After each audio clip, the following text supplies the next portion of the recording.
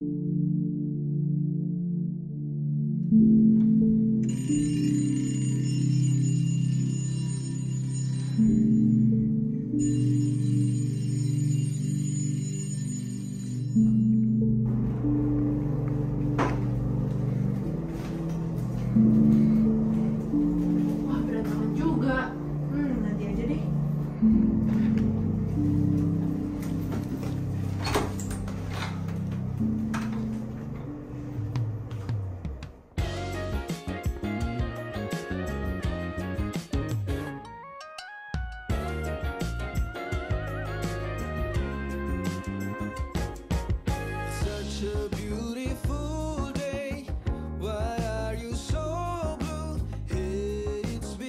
Iya, lu pada udah belajar ujian minggu depan? Belum. Lagi. Apa nanti malam kita belajar bareng? Eh boleh sih. Ayo boleh boleh. bagus. Oke. Yuk, yuk. Eh, jadi kita mau belajar apa nih guys? Yang tadi aja tuh ekonomi makro kan? Iya sih. Rokok dulu. Mana udah kebiasaan. Lagian ngopi temennya. Baru tahu rasa loh.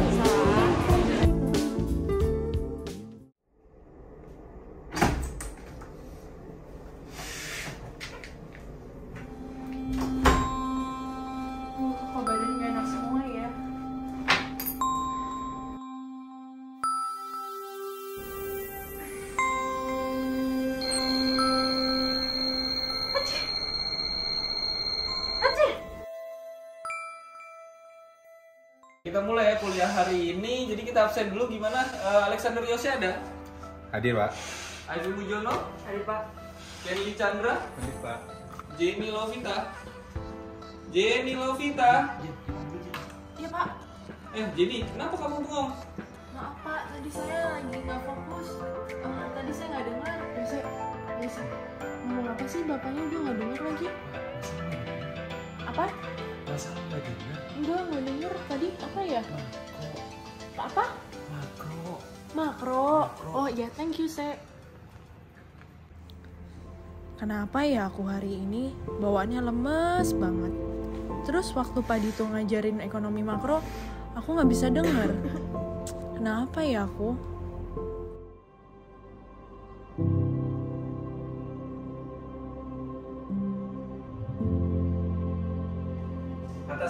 Lavita. Eh, Din, mana Din? Udah dipanggil, udah. Ini masa nggak dengar? Enggak.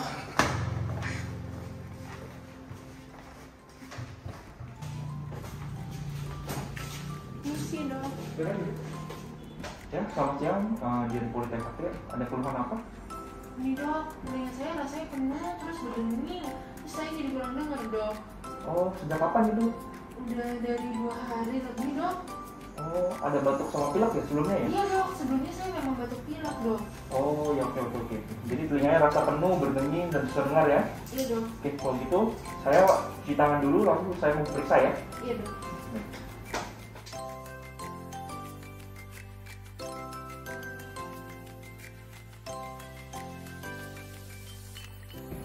Jadi saya sakit apa ya dok?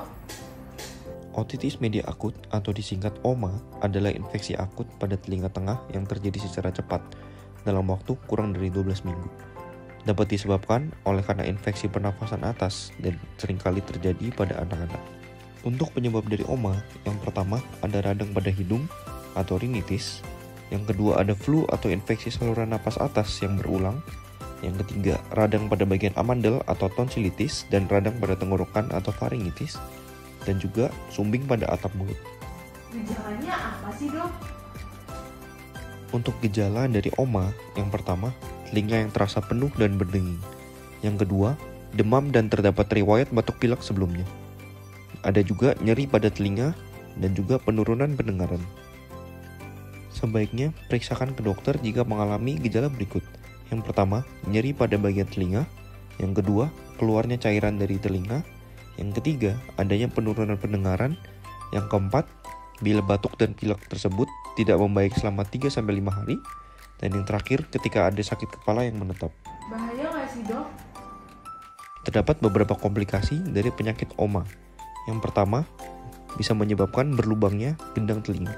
Yang kedua dapat menyebabkan ketulian dan jika tidak diobati dapat berkembang menjadi otitis media supuratif kronik atau disingkat OMSK yang merupakan peradangan mukosa telinga tengah melalui berlubangnya gendang telinga dan juga bisa bisa berkembang menjadi mastoiditis dan bisa juga menyebabkan rasa pusing yang berputar atau vertigo. Bagaimana ya dok cara mencegahnya? Yang pertama, makan makanan yang bergizi. Yang kedua, membiasakan untuk rutin mencuci tangan. Yang ketiga, menghindari asap rokok. Yang keempat, segera berobat jika batuk dan pilek.